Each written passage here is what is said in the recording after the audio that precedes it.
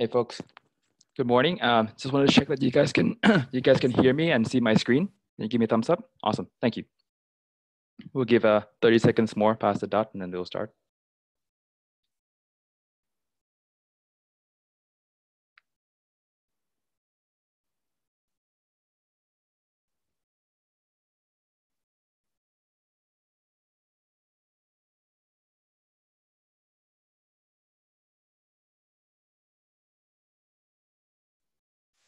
Okay, I think we have a critical mass here, so I think we'll just go ahead and get started. Um, first of all, welcome to um, our quality functional group update. So um, as you noticed, um, I'm not BJ. Um, more explanation on, on that in a second. Um, my name is Mac. I just joined uh, a month and a half ago as, as engineering manager on the quality team.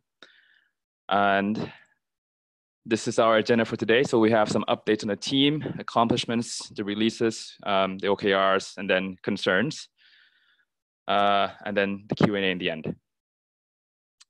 Um, but first of all, um, I wanted to update that um, uh, BJ's contract with GitLab is ending um, at the end of this month. I know some of you may already have known this, but um, I want to say thank you to BJ. He's done a great job starting the quality initiative and making improvements to the quality release processes. Um, but his contract uh, with GitLab is ending, and, and and this week is his his last week at GitLab. Um, the next up is Remy has uh, decided to transition into an IC role. Um, he is now a staff developer. Um, I also want to say thank you to Remy. He's done a fantastic job leading the Edge team so far, and he's he will continue to be a very strong leader for the quality team. And I'm, I'm very happy to have him in the team. So um, thank you, Remy. Uh, next up, um, uh, team update. So the quality and edge team has merged. Um, we are now uh, the, the, proper quality team. Uh, the high level goals of the department can be found in more details there. I'm not going to go um, over it in detail, but these are the high level of the goals. Um, well, first of all, we need to ensure that GitLab consistently releases high quality software.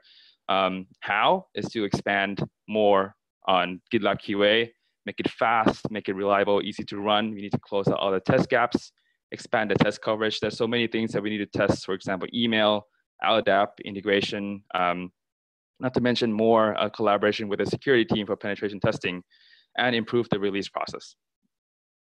Next up is um, we want to improve our developer efficient, efficiency and productivity. This is uh, jump-started by our engineering metrics dashboard.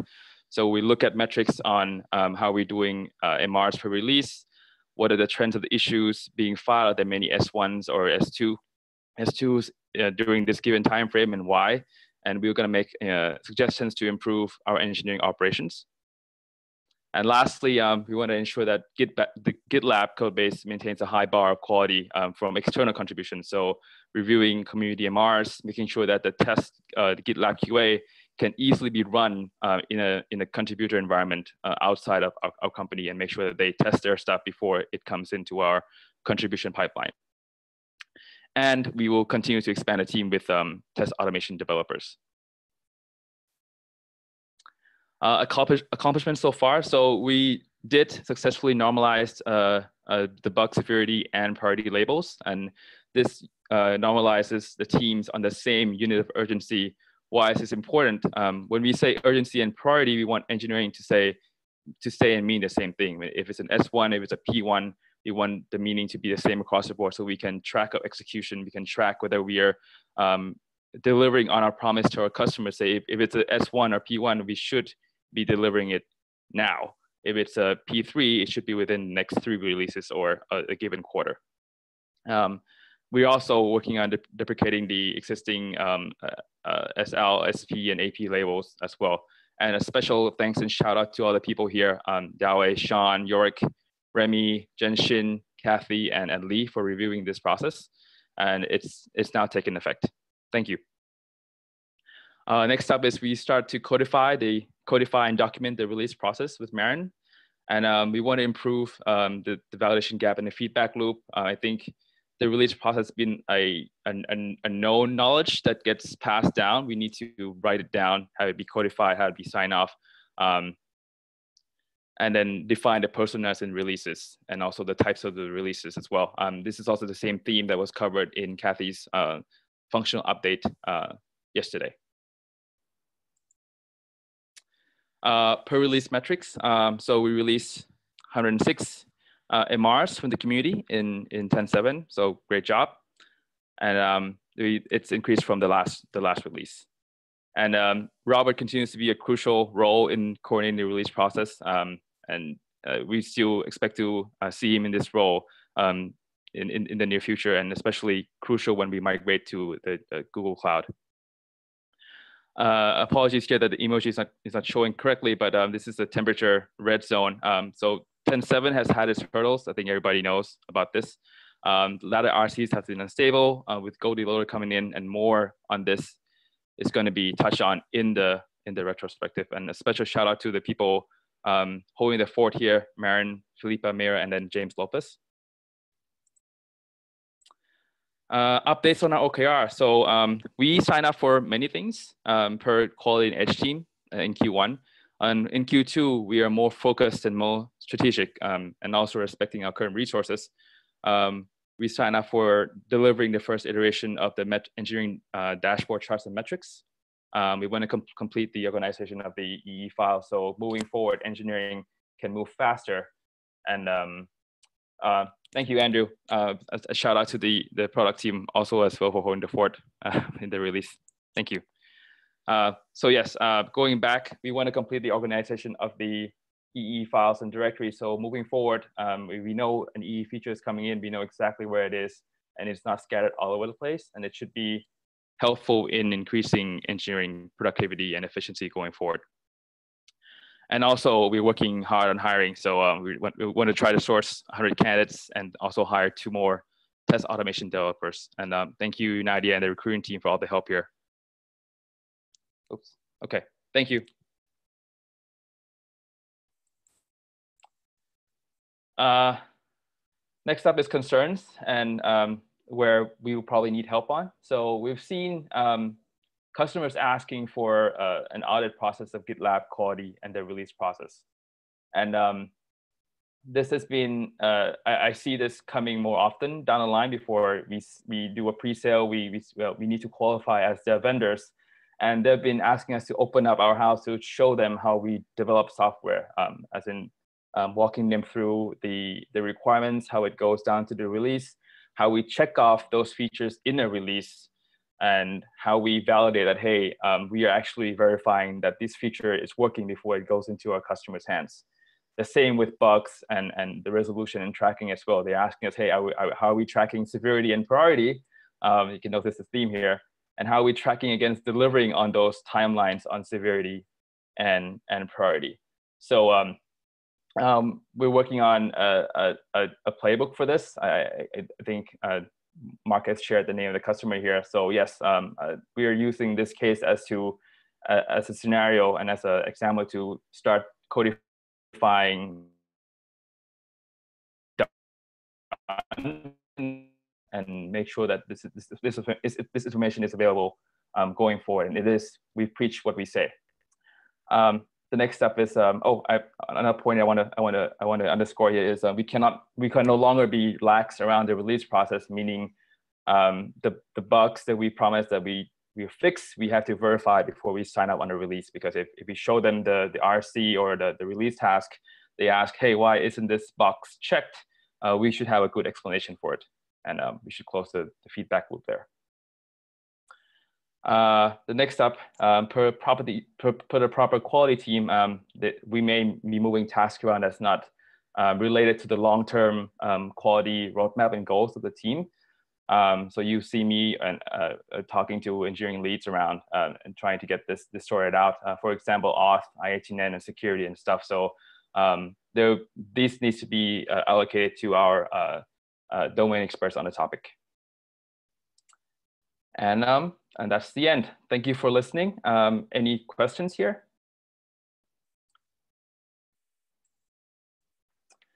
Hey, Tommy, thank you.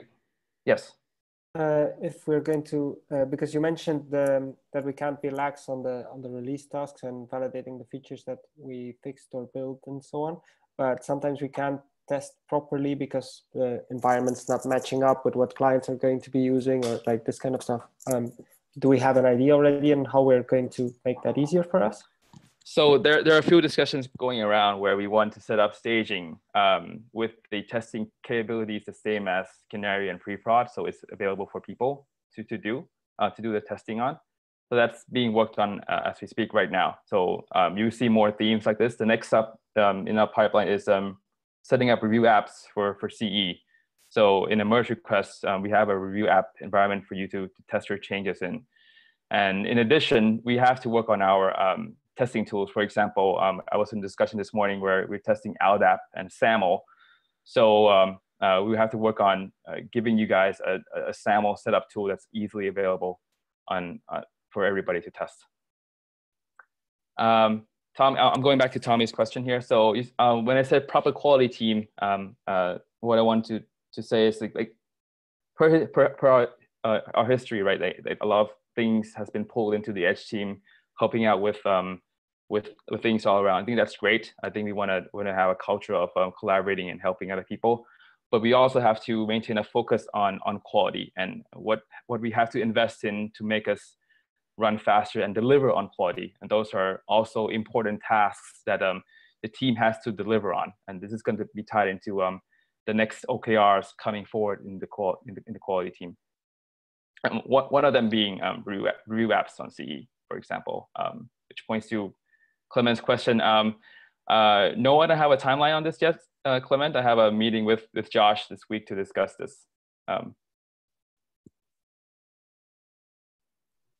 Hey, Mac, uh, this is Victor. Uh, thanks for the updates. Um, uh, as the quality team grows and, and the infrastructure and tools grow, um, in the past we've said that we're never going, we're not never, but we, we don't believe in uh, dedicated people doing testing. Um, and then that developers and I guess product managers are, are doing that separately. Is that still the philosophy and the quality team is empowered or, or the, the mandate is to provide the tools and resources to help us do that or will, will that philosophy change and is the quality team actually doing testing themselves and uh, whether it's automated or, or with manual? So so great question. So no it, the mandate is not changing. Um, the same as security right? I think quality is everybody's responsibility.